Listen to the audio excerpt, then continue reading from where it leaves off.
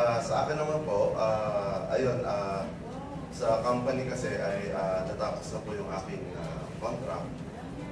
And then the enemy is always na lagi niya tayong inaalis nila yung faith natin with the current market, especially in the construction industry. Talagang bagsak yung market. And then my the, the head of the company, sabi niya, well, hindi raw siya magbibigay ng increase throughout this year. But we don't receive bad report.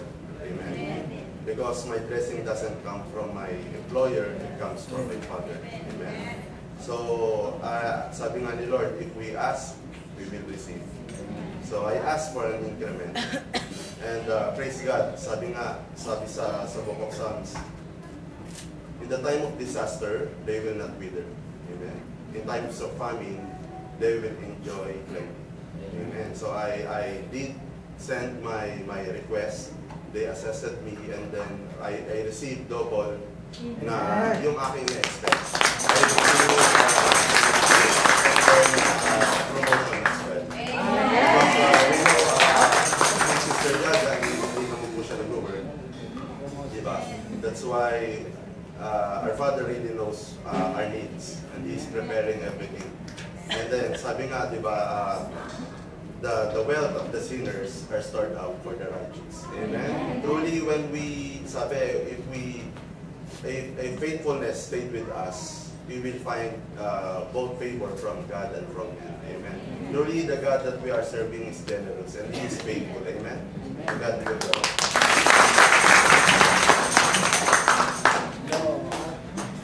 Amen. So God is good, right? Amen. Uh, now let's uh, proceed to the newcomers. To welcome the newcomers. If I will call your name, then please stand up to recognize you, the congregation.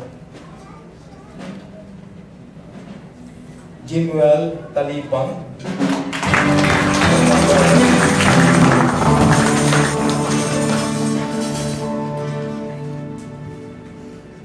Gon San Sandu.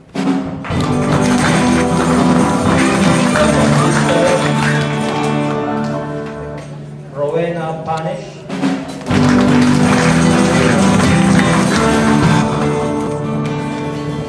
And Michelle Pakita. Amen. You are here not because of your friend. You are here because of uh, Lord Jesus Christ. And I believe this is the start of your uh, fellowshipping in the Lord. Amen. Can please everyone stand up and welcome everyone.